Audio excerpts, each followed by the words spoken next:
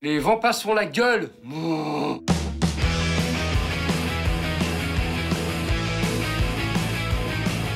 Faire du rock'n'roll, même si on le fait sérieusement et que c'est le, le truc le plus important dans notre vie de faire du rock'n'roll, faut pas se prendre au sérieux parce qu'on fait que du rock'n'roll. Il y en a qui font des trucs plus importants que nous dans la vie, quoi, tu vois.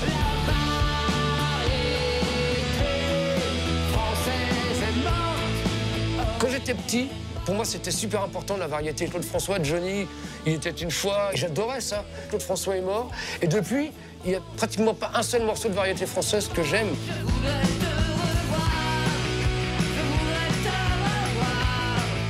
Les chansons, elles sont bien, enfin elles sont bien, celles qu'on garde, c'est qu'elles nous plaisent, quoi, tu vois, et donc je ressens quelque chose de fort. Après, bah, il faut mettre des bonnes paroles, sinon la chanson est pourrie, quoi.